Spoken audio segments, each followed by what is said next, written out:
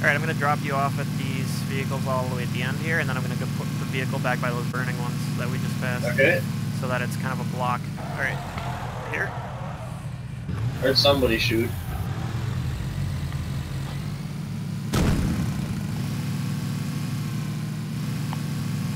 Oh, we got a vehicle coming. I'm gonna ram him. Hey, man, man, man.